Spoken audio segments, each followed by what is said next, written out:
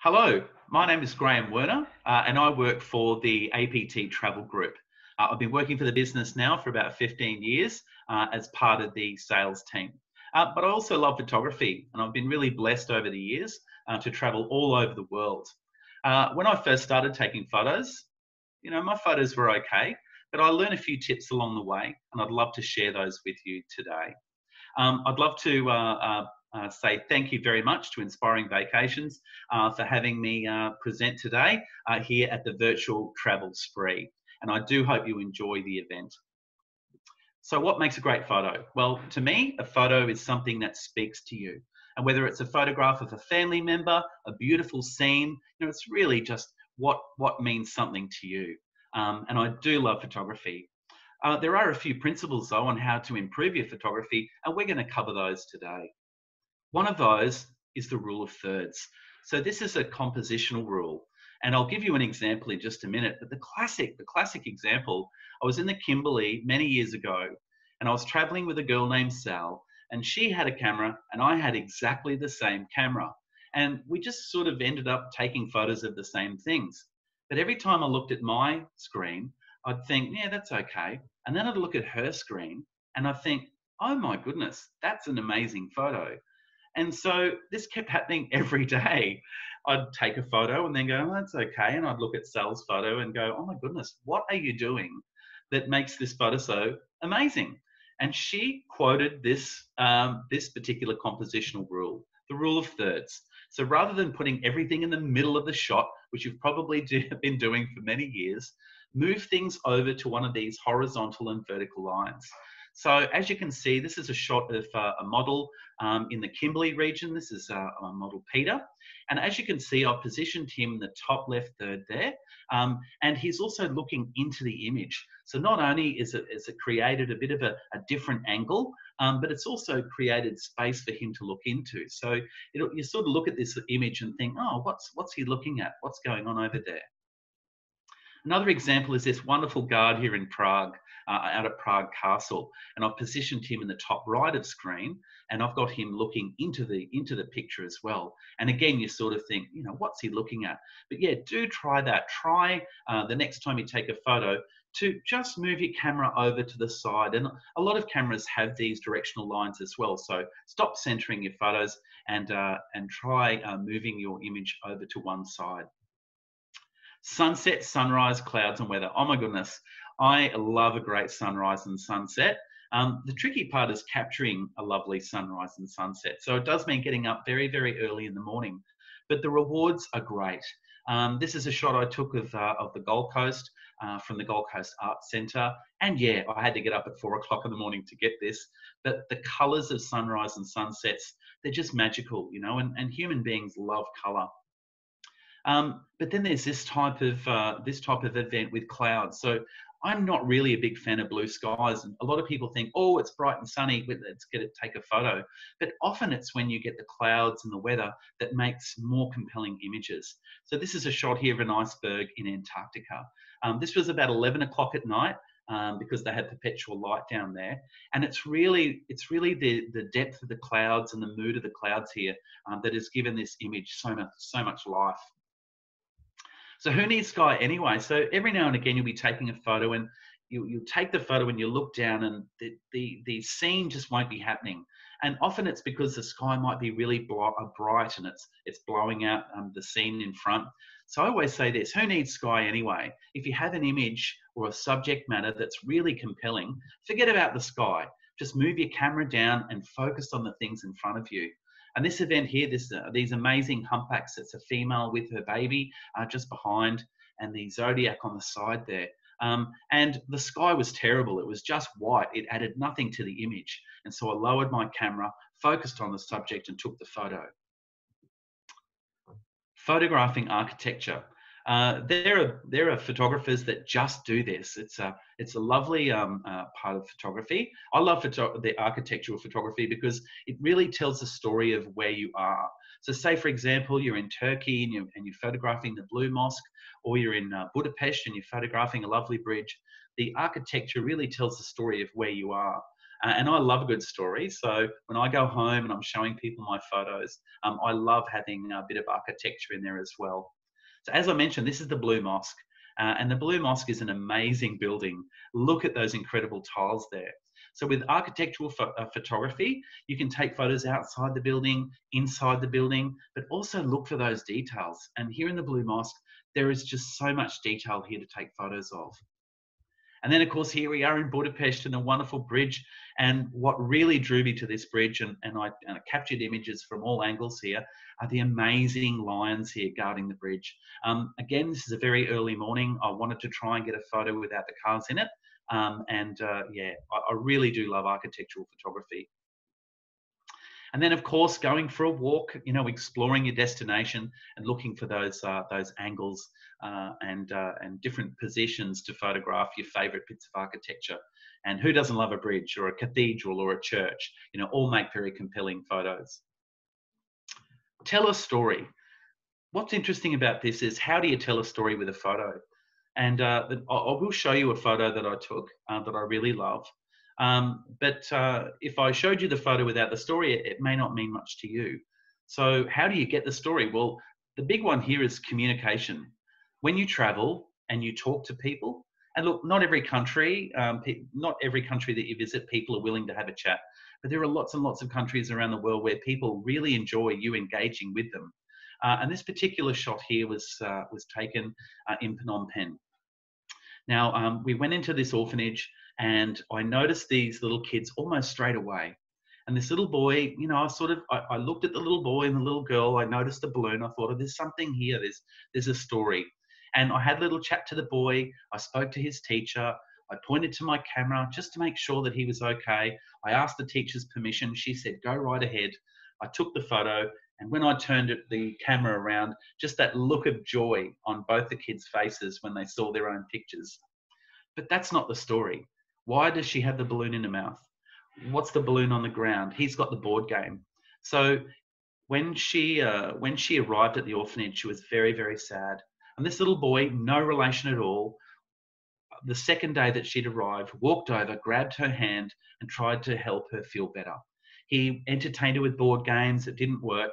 And then he found a balloon and he gave her a balloon and she stopped crying and that was six months ago. So for six months, he he just follows her around, holds her hand, gives her a balloon when she feels sad, plays board games, and I just thought, you know what, I I, I would never have heard that beautiful story um, of relationships and friendship um, if I hadn't spoken to the teacher and inquired about the kids.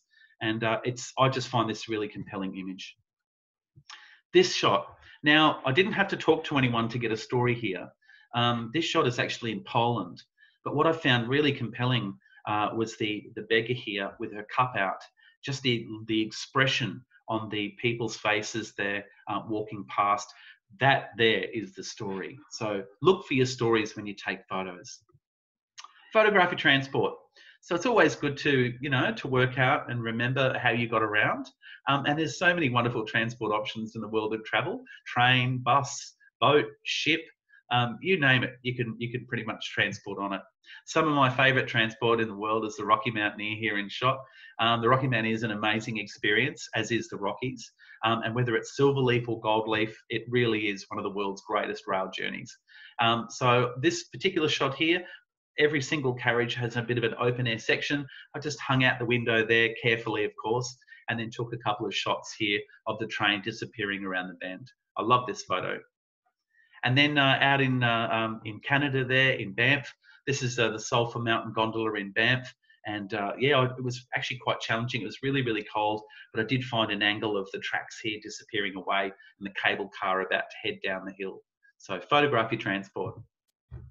Look for color and light. Look, color and light really makes the photo in my in my mind. And uh, as human beings, we're very visual. We're very attracted uh, to color and light. So where do you find color and light in a photo? In your own backyard. You know, we're so blessed in Australia with our wonderful birds and wildlife. This little rainbow lorikeet, um, they visit my garden. I've got lots of grevilleas. So certainly uh, no lack of colour here in this shot. Here um, I am in uh, Vietnam and I was actually with a big group of people and we, we weren't allowed to stop. We had to keep going. This was just one of those moments, that planetary alignment, where I, all I did was I saw the yellow. I saw the yellow curtains, the yellow marigolds, the beautiful yellow flowers here, pulled my camera up and went click and didn't even look at the shot until I got back to Australia. And just the joy I felt when I when I edited the image and saw all the yellow and his lovely smile here, and uh, yeah, certainly um, love my colour and of course sunsets. And um, this is uh, uh, probably one of my most published images. Um, with APT, we do a travel magazine as well. So I was very fortunate to have this one printed. And uh, you know, get your photos printed. Don't just let them sit on the hard drive. It's um, great to see images printed or published. Facebook, Instagram, a coffee table book. Make your own postcards or posters. You know, print your images. Um, it really is worthwhile. And if color isn't your thing, go black and white. I mean, black and white's where it all started. Um, I love black and white photography. For me, when you take the color away, it just makes me focus more on the detail and look for that story. This is one of my shots here from Poland, just looking out the hotel window across all the roofs there. And in color, it just didn't work. I don't know why. Maybe the sky was a bit too bright, but it really worked in black and white. And uh, this, this image has been printed uh, and it looks great in a frame. And of course, this one again, the color, the leaves were super green, uh, and I just couldn't get the image to work. And then as soon as I took all the color out, um, it just worked for me. So remember your black and white photos. Reflections. Um, this is a great focus to have when you're um, traveling around and looking for photos. Look for reflections, whether it's a reflection in a cup of tea or in a mirror. Reflect, reflections really do add a lot uh, to your image. As an example, here in uh, Budapest at Parliament House, there, um, I, I, headed out of the hotel very early in the morning and arrived opposite Parliament House as the sun started to rise, and it cast these incredible light. Um, the, the, the water was very still, and it just made for these beautiful reflections. Here again in Poland with the dancers, I may have had a, a couple of vodkas here and some pierogi, so um, uh, I'm not, I can't remember what motivated me to look in the mirror here, but I just think it makes for quite an interesting image seeing the reflection. And of course, sometimes the reflections are so obvious you don't even notice them. And uh, this is David, he was part of our Antarctic expedition. And there's me right in the middle of the shot there taking his photo. To be honest, all I thought about was taking his photo. And again, it wasn't until I looked at the image later that I noticed how clear uh, the reflection was in his goggles. So reflections make for great subjects. Look for different angles. So it's very tempting to just stand there, you know, trying to make sure your hands aren't wobbling and take a shot. But it's also really important to look for different angles. So whether or not you're sort of uh, going this way or taking a photo down, looking up, or up looking down, try different angles. It really does make a difference to your images. As an example, I always, whenever I'm on set, I always do a wide angle. So wide angle views, they capture all that information, all of that scene there. And you've got uh, Peter and Christy uh, uh, looking out at the waterfall here in Mitchell Falls uh, out in the Kimberley region. So this captures all the information, it tells the story. But then I wanted to get closer, I wanted to look for a different perspective. And look how different this shot is, even though um, it's the same people looking at the same thing, but how different this looks. It, it could probably be a, an advertisement for hiking boots, but I love different perspectives. And this one here, so uh, I, I, I, visited Australia Zoo with the kids. Um, I brought my camera with me, uh, got some shots of the wildlife, and then uh, the kids really wanted to see the tiger show. And uh, there's a massive big Uh, um, um, uh, glass uh, view um, on the water there. And really, the glass wasn't that clean, so it didn't really make for a great photo. So I thought, you know what, I'll, I'll look for I'll look for some kind of angle. I walked up to the glass, and right on the water line, um, I, I, put the camera right on the water line towards the glass, and it elongated his body out, and it just oh, it just made for this really interesting photograph. So yeah, definitely look for different angles when you're shooting focus on the eyes. This is really important. And whether you're, you're shooting wildlife or you're shooting people, um, it's really important to have those eyes in focus. Um, there's nothing that turns me off photography more than having an out of, out of focus eyes, particularly if you're doing a close up. And as an example, this uh, amazing little critter here, um, one of the lemurs from Madagascar, um, those piercing eyes. So that was my focus. I really wanted to make sure those eyes were sharp, um, and that made for quite the compelling image. But you know what? Don't get too close. If you're in the wild, you're in Africa, you know, be mindful of your of your, your safety and your well-being because you don't really want to get too close to every animal out there. So um, certainly not to these big grizzly bears in North America. Um, if you've been to Canada, you know what I'm talking about. It's, it's amazing seeing a bear in the wild, as long as they're not too close, of course. So to wrap things up, I just wanted to communicate how important it is to be present, to be in the now. Um, and on screen at the moment, the actual experience of the destination is always going to be better than reflecting on it later.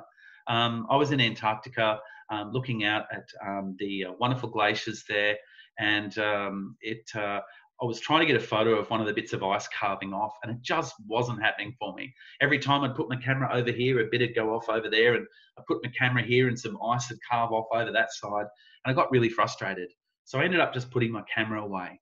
And a few minutes later, directly in front of me, this amazing piece of ice carved off the shelf, hit the water with a loud boom, and it, I just couldn't believe it happened in front of me. Had I been messing around with the camera, I may have missed it.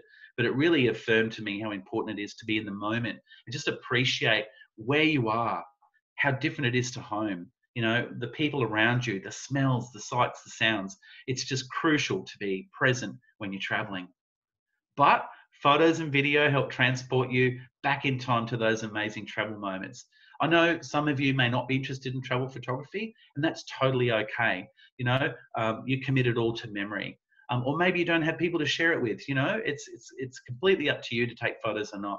But for me, I just love coming home and then looking at all the images I've taken because it just transports me back to that amazing feeling of being there. I really love my travel photography. So, folks, I just want to say thank you so much for watching. Uh, please enjoy the virtual travel spree. Um, and a massive thank you to Inspiring Vacations for having me. Uh, if you'd like some inspiration on travel photos, uh, you can always uh, visit my Instagram uh, account on on the uh, on the screen at the moment. And of course, ATG, Australian Pacific Touring, APT Travel Group, have an amazing website as well that you can check out. So thanks very much for watching and enjoy the show.